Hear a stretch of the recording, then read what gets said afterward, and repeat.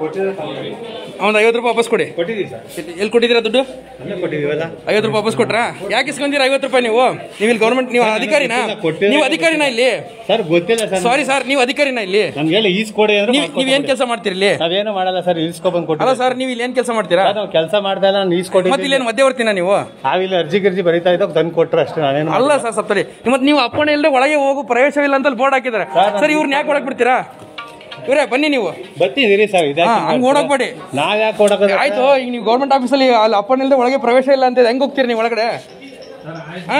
ಐವತ್ತು ರೂಪಾಯಿ ಯಾಕೆ ಇಸ್ಕೊಂತೀರಾ? ಅವ್ರ ಅಮಾಯಕರ ಅವರು. ಸರ್ ಸಾರಿ ಸರ್ ನನಗೆ ನೀವು ಉತ್ತರ ಕೊಡಿ ನನಗೆ ಉತ್ತರ ಕೊಡಿ ಅರ್ಜಿ ನೀವು. ನೀವು ಯಾಕೆ ಐವತ್ತು ರೂಪಾಯಿ ಇಸ್ಕೊಂತೀರಾ ಅವ್ರ ಕಡೆ? ನಾನ್- ಆಯ್ತು ಬಿಡಿ ಸರ್ ಅರ್ಜಿ ಬರ್ ಇವರೇ ಐವತ್ತು ರೂಪಾಯಿ ಇಸ್ಕೊಂಡು ನಿಜನಾ? ನೀವು ಯಾಕೆ ಕೊಡ್ತೀರಾ? ನೀವು ಅರ್ಜಿಲಿಂದ ಯಾಕೆ ಐವತ್ತು ರೂಪಾಯಿ ಕೊಡ್ತೀರಾ? ಇವ್ರು ಕೇಳಿದಾಗೆಲ್ಲ ಯಾಕೆ ದುಡ್ಡು ಕೊಡ್ತೀರಾ? ಸ್ವಾಮಿ ನಮ್ಗೆ ಗೊತ್ತಿಲ್ಲ ಅರ್ಜೆಂಟ್ ಬೇಕು. ಬ್ಯಾಂಕ್ ಕೊಡ್ಬೇಕೀಗ ನಾವು. ಏನ್ ಮಾಡಿಗೆ ಅವ್ರು ಕೇಳಿ ಹೇಳ್ದ ಕೊಟ್ಟಿಲ್ಲ ಇವತ್ತು ಒಟ್ಟು ಏನಪ್ಪ ನೀವೇನಪ್ಪ ಅಂದ್ರೆ ಅವ್ರು ಅರ್ಜೆಂಟ್ ಅಂತ ಬಂದ್ಬಿಟ್ರೆ ನೀವು ಐವತ್ತು ರೂಪಾಯಿ ಇಸ್ಕೊಂಡು ಕೊಟ್ಬಿಡೋದು.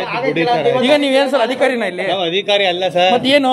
ನಾವ್ ಇಲ್ಲಿ ಅರ್ಜಿ ಬರೆಯೋರು ಇಸ್ಕೊಬಂದು ಕೊಟ್ಟಿದ್ದೀವಿ ನನಗೆ ಉತ್ತರ ಕೊಡ್ಬೇಕು ನೀವು. ನಾವು ಇಲ್ಲಾಂದ್ರೆ ಹಂಗೆ ಸುಮ್ಮನೆ ಬಿಡಲ್ಲ ನಾನು ಕಂಪ್ಲೇಂಟ್ ಕೊಡ್ತೀನಿ. ಮೇಲೆ. ಕಂಪ್ಲೇಂಟ್ ಕೊಡಿ ನಾವು ಇಲ್ಲಿ ಅಪ್ಲಿಕೇಶನ್ ಬರೆಯೋರು ಇಲ್ಲಿ ಬಂದು ಈಸ್ಕೊಟ್ಟಿದೆ ಮತ್ತೆ ನೀವು ಹೆಂಗ್ ಆಫೀಸ್ ಒಳಗೆ ಹೋಗ್ತೀರಾ? ನೀವು ಅಪ್ಲಿಕೇಶನ್ ಬರೆಯೋರು? ಸರ್ ಇಲ್ಲಿ ಯಾರು ಇಲ್ಲಿ ನೀವು ಇವರೇ? ಇವ್ರ ಅಪ್ಲಿಕೇಶನ್ ಬರೆಯೋರ್ನ ಹೆಂಗ್ ಒಳಗೆ ಬಿಡ್ತೀರಿ ನೀವು? ಏನ್ ಸರ್ ಇವರೇ? ಸರಿ ಸರಿ ಸರಿ. ಇವರೇ ಬನ್ನಿ ನೀವು ಇಲ್ಲಿ. ಇವ್ರೆ ಇದೆ ಸರ್ ಹಾ ಹಾ. ಇವರೇ ನೀವು ಅರ್ಜಿ ಬರೆಯೋರ್ನೆಲ್ಲ ಹೆಂಗ್ ಒಳಗೆ ಬಿಡ್ತೀರಿ?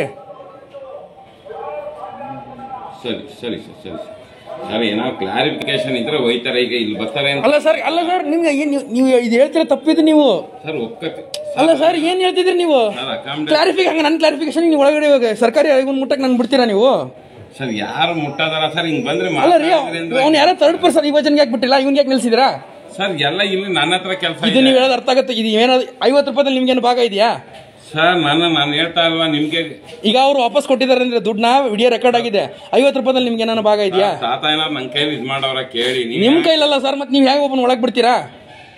ಸರ್ ಈಗ ಸೆಕ್ಷನ್ ಇದ್ದಾಗ ಕ್ಲಾರಿಫಿಕೇಶನ್ ಈಗ ಇಲ್ಲಿ ಬರ್ತಾರೆ ಅಂದ್ರೆ ಅರ್ಥ ಏನು ಸರ್ ನಾನು? ನಾನು ಏನ್ ಸರ್. ಹೇಳ್ಬೇಕು ಅಂತ ಅರ್ಥ- ನೀವೇ ನನ್ನ ಜಾಗದಲ್ಲಿ ಕೂತಿದ್ರೆ ಏನ್ ಹೇಳ್ತೀವಿ ಹೇಳ್ತೀರಿ ಆಯ್ತು ನೋಡಿಲಿ ಅಪ್ಪಣೆ ಇಲ್ಲದೆ ಪ್ರವೇಶವಿಲ್ಲ. ಸರ್ ಹಾಗೆ ಒಳಗೆ ಹೋದವನು ಅಲ್ಲ ಒಂದು ಐದು ನಿಮಿಷ ಕ್ಲಾರಿಫಿಕೇಶನ್ ಇದ್ದಾಗ ಈಗ ಕೂಗ್ತೀವಿ ಅಂದಾಗ ಯಾರೋ ಕೇಳ್ತೀವಿ ಮಾತಾಡ್ತೀವಿ ಅಂದಾಗ ಈಗ ನೀವೇ ಬಂದ್ರಿ.